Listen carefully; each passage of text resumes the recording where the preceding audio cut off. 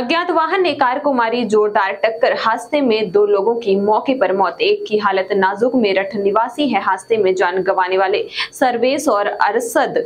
साहन बाज को गंभीर हालत में